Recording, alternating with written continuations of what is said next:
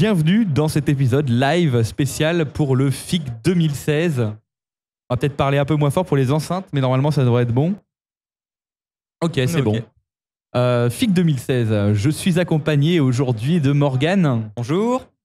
de Loïs Salut et de Yuen à la technique. Coucou.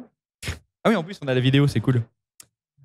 Euh, on va commencer par la première euh, conférence qu'on a vue, la je- conférence d'ouverture euh, qui était de- avec euh, Xavier Bertrand, président de la région Nord-Pas-de-Calais, Picardie. euh, Picardie, faut pas l'oublier parce que maintenant ça a changé.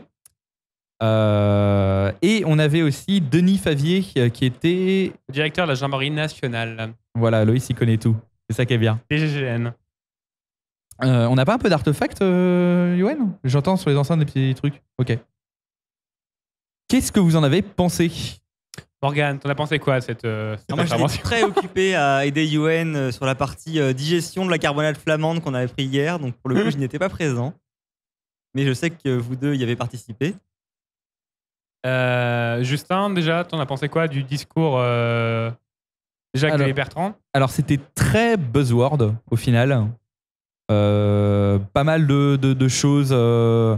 Euh, euh, notamment, j'ai retenu tout ce qui était euh, sur le PNR ferroviaire, hein, qui voulait étendre tout ce qui était PNR, donc dossier. euh, j'ai plus le nom exact en tête, mais c'est euh, euh, pour tout ce qui est les, voyageurs quand ils sont euh, dans, les, les dans les avions pour essayer de les flaguer en cas de, par les compagnies aériennes en cas d'attaque et ils voulaient l'étendre au ferroviaire. Euh, J'avais aussi retenu que ça parlait de drones, euh, ça parlait de cloud, ça parlait un peu de tout, euh, mais qu'il y avait une volonté quand même de la région de s'investir dans, euh, dans ce qui est tout ce qui est cybersécurité au final. Mm. Moi, hum, j'ai vraiment trouvé que le discours était assez clair et assez, euh, bah, assez engagé. Concrètement, donc, il, a, il a bien sûr parlé de sa région, qu'elle était très investie dans le domaine de la cybersécurité. Il y avait 6500 emplois au sein de la région Nord-Pas-de-Calais sur ce sujet. Il a nommé différentes sociétés, euh, Dimiotis, Eurotechnologie, qui sont assez euh, fortement présents sur le, euh, sur le domaine cybersécurité au sein de la région. Et il a fait en fait quelques annonces qui étaient assez agréables à entendre.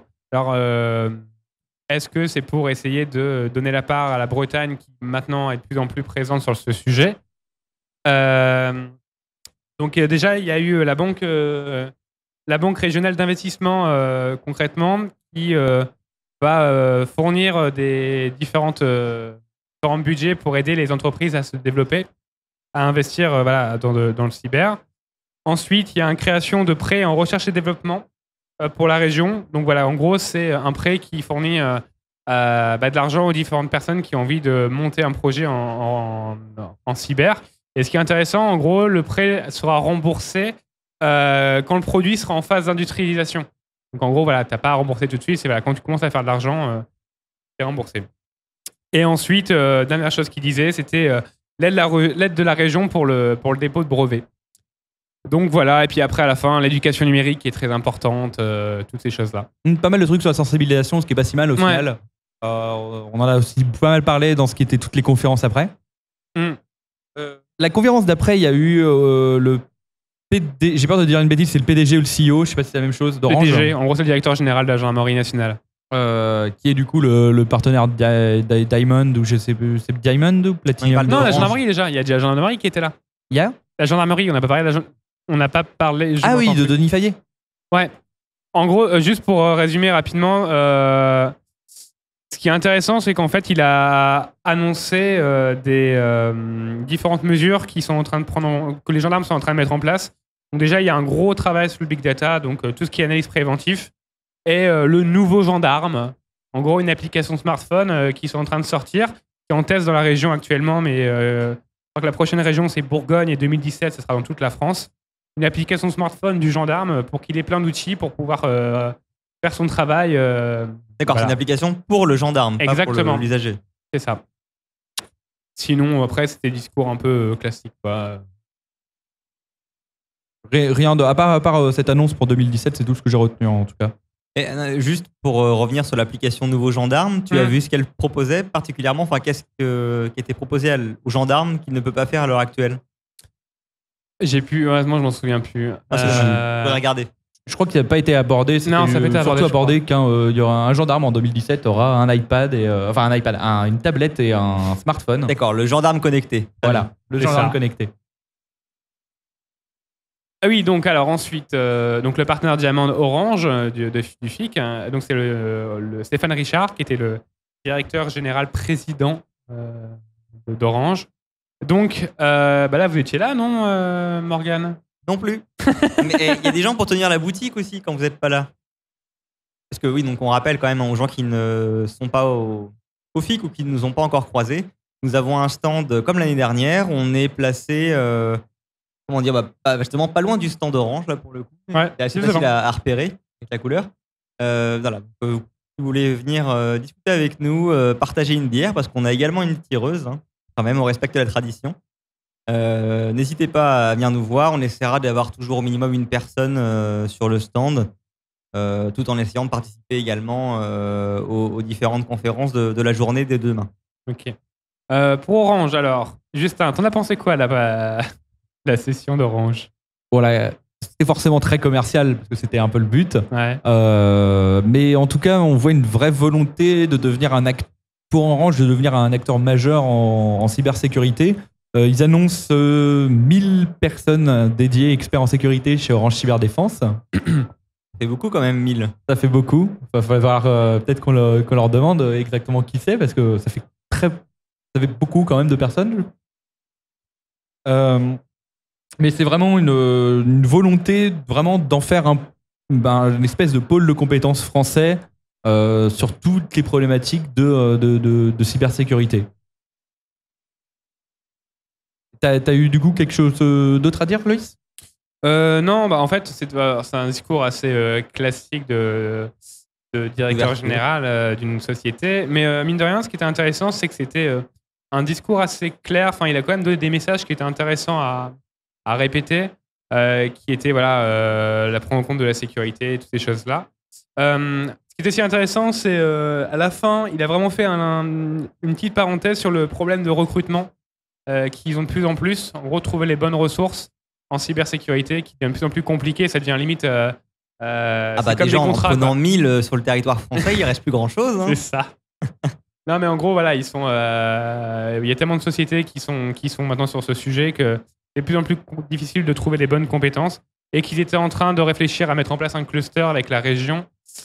Voilà. Nouveau buzzword que j'ai entendu aujourd'hui, cluster, je crois que j'ai entendu trois ou quatre fois. je pense que ça va être mon, euh, mon buzzword de 2016. C'est Voilà. ça. Non, mais voilà, c'était l'idée de, voilà, de, de, de faciliter euh, la détection de, bah, de, de personnes compétentes et euh, de les- de les aider. Quoi. Mais voilà, sinon, c'était une, une conférence un peu classique. Par contre, la- le, grand, le grand moment de la matinée, on était tous là, c'était la plénière. La plénière sur la crise de confiance des utilisateurs en sécurité informatique est-elle réelle ou pas? Voilà, Pour reformuler, c'est pas pas une affirmation. C'était est-ce qu'il y a vraiment une crise ou non? Voilà. Alors, euh, déjà, Morgane, ton retour sur ce. Bah, Déjà, juste pour rappeler, donc, au niveau des participants de mémoire, il y avait donc Guillaume Poupard, directeur de l'ANSI, voilà. Euh, François Lavaz. David Oman, je crois, qui Ouais. euh, était un ancien du GCHQ et qui maintenant fait partie d'une organisation internationale. euh, Un Anglais, exactement. etc. Euh, Il y avait bah, je François mauvais, La- je vais en oublier. hein, toute Il y avait. François Lavast qui était directeur, euh, enfin qui était responsable cyber euh, chez Airbus. Oui. Euh, il y avait Jérémy Zimmerman euh, qui est, euh, on, va le, on va le présenter, mais tout le monde le connaît, mais qui est, euh, qui est un des membres de, quadra- de la quadrature du net, Un des Oui. cofondateurs. Et cofondateur, euh, association très présente. D'ailleurs, j'avais pour euh, mémoire pourtant qu'il avait dit qu'il arrêterait finalement les interventions publiques. Il n'est plus porte-parole euh, de la quadrature. Officiel, voilà, c'est ça. Maintenant, il participe en tant que, en tant que Jérémy plus qu'en tant que quadrature. Il y avait Jean-Yves Lartonnery ici, le cyberpréfet, euh, qui était là. Et puis, je crois que c'est. Et Guillaume hein on a tout dit. T'as pas dit Guillaume Poupard hein Si, euh, Morgane l'a dit. Oui. Nicolas Arpagian, on l'a dit également. Ah oui, Nicolas Arpajon aussi, qui bosse maintenant pour Orange. Et qui Voilà. était. Voilà.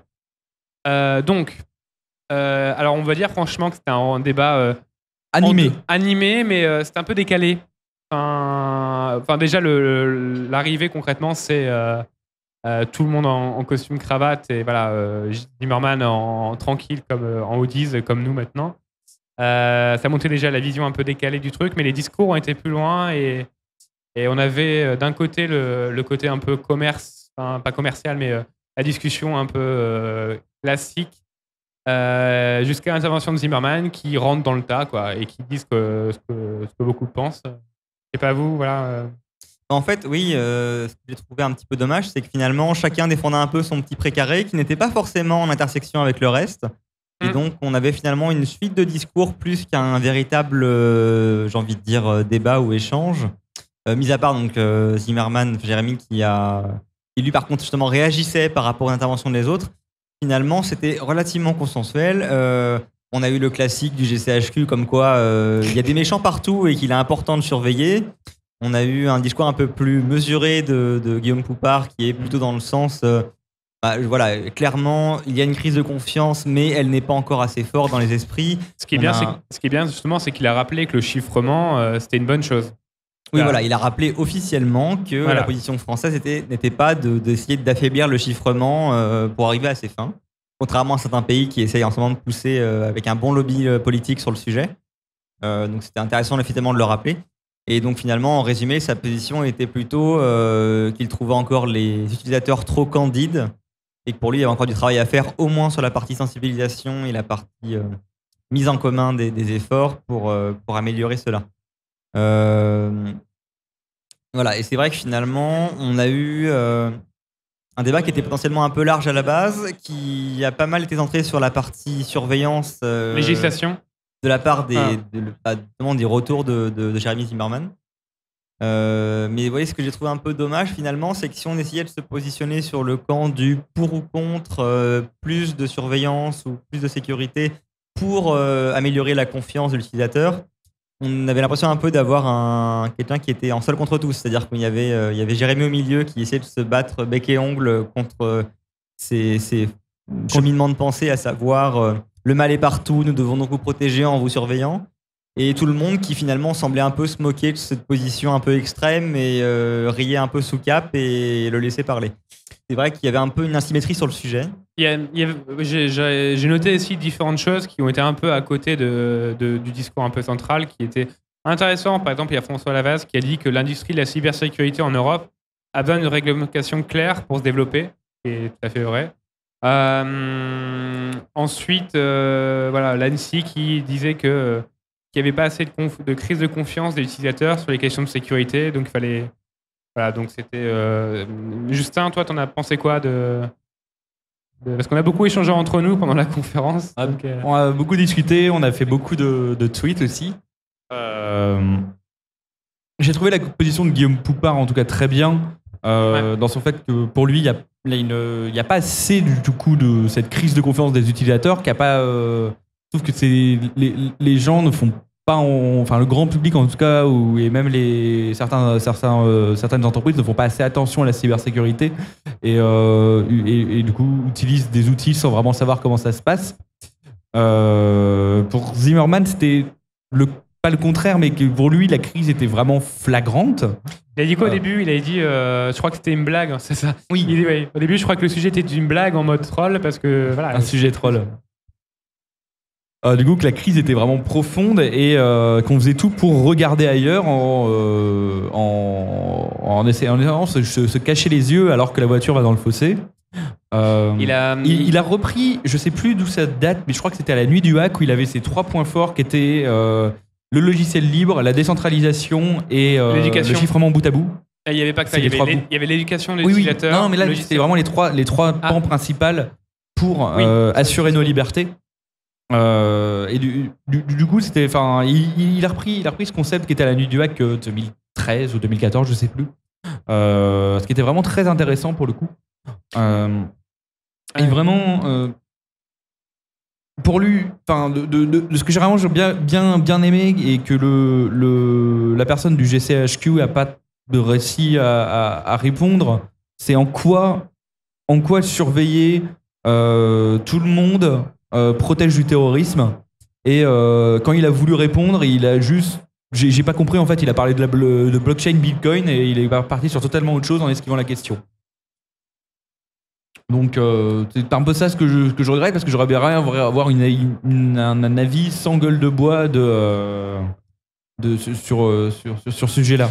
Et puis c'est aussi un peu la, la problématique entre guillemets des plénières, ce qui est intéressant parce qu'on a plein de sujets, euh, enfin plein de personnes qui interviennent en même temps. Et quand les sujets un peu, voilà, un peu euh, touchy et comme ça, on aimerait avoir plus d'échanges directs entre deux ou trois personnes. Et malheureusement, euh, voilà, il n'y a, pas. C'est vrai que je sais pas, est-ce que c'est parce qu'il y a trop de monde sur le podium? Est-ce que euh, ce sont des. Je, je- sais pas si c'est le, voilà, nombre de personnes qui, qui posent problème ou l'avis de chacun? S'il n'y a pas assez d'équilibre au niveau des, positions. Et peut-être que la, question était un peu trop ouverte également, dans le sens où euh, il y avait beaucoup de choses auxquelles on pouvait parler. On pouvait parler de la sécurité des utilisateurs finaux, on pouvait parler de la surveillance, on pouvait parler de la sécurité des États. Finalement, euh, voilà, la confiance des utilisateurs au sens large, peut-être que finalement, du coup, c'est ce qui a hum, empêché le débat de se canaliser sur euh, un ou deux. Et il y avait peut-être trop d'intervenants aussi euh, pour justement ce, ce- Et, ce euh, type de débat. hein. Et Yuen, parce que tu étais quand même là, euh, on a des micros portables, on va en profiter. Yuen, t'en as pensé quoi? Euh, moi, j'ai fait l'installation pendant que vous étiez au plénière, donc j'ai Oh, bah, absolument voilà. vu encore. Comme je disais, il faut bien que quelqu'un tienne la boutique. Euh, Mais j'aurais bien aimé assister à ça. Je vais essayer de faire quelques conférences cet après-midi pour regarder. Très bien. On a une question sur le chat d'un utilisateur qui s'appelle Charles Vu, qu'on connaît un peu, euh, qui nous demande si, à notre avis, il faut réglementer les IoT, donc Internet of Things, euh, afin de réassurer les utilisateurs. Bah, ça, ça rejoint un peu ce que je disais tout à l'heure sur Twitter, à savoir, euh, ils ont parlé que de sensibilisation quasiment, ou alors de surveillance. Euh, moi, j'aurais aimé parler de- d'encadrement réglementaire. Il ne faut pas espérer que du jour au lendemain, l'utilisateur lambda euh, refuse d'installer la nouvelle application à la mode sur son iPhone parce qu'elle demande l'accès à son carnet d'adresse et qu'il ne voit pas l'intérêt. Le nombre de gens qui actuellement regardent cette liste et se disent Ah non, quand même, euh, c'est un peu trop, euh, et se réfrègnent à utiliser une application nouvelle et qui coûte, c'est extrêmement rare. Même dans la sécurité, j'ai un paquet de collègues qui finalement, euh, au début, ont un regard un petit peu circonspect, refusent, et puis finalement craquent parce que tous leurs copains sont dessus. Et puis au bout, enfin, au bout de 3 à 4 acceptations d'applications avec des droits complètement rocambolesques, finalement, ils se disent, bah, de toute façon, je suis plus à une près, et donc acceptent absolument tout et n'importe quoi. Et ça marche pareil avec les CGV n'importe quel site web auquel on s'inscrit et on donne nos informations. Il ne faut pas une, espérer l'utilisateur qui se réfrègne lui-même, il faut le protéger.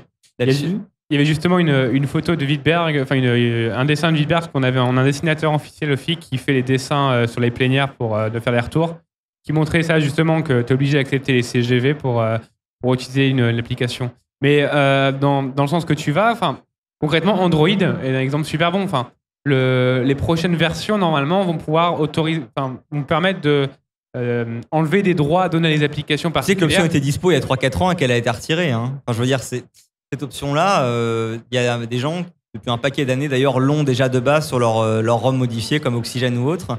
C'est une feature qui était dans le corps Android et qui a été retirée de lui. Donc il serait temps de la remettre. Ah bon. Bon. Euh, voilà, mais c'est un exemple parmi tant d'autres, euh, les applications, mais de manière générale, les sites web, euh, quand tu vois tout ce que peut faire Facebook avec tes données ou euh, sur ton flux d'actualité, euh, tu as envie de te pendre. Mais pour autant, euh, bah, toute ta famille est dessus, tes amis sont dessus, et c'est quasiment impossible euh, d'avoir une vie connectée, sociale, active sans être là-dessus. Mm. Et donc, à part en mettant des cadres légaux qui permettent d'éviter un peu les, les débordements, au niveau de- au niveau d'un pays déjà potentiellement, et le- le- l'application aura des, des règles particulières pour ce pays-là.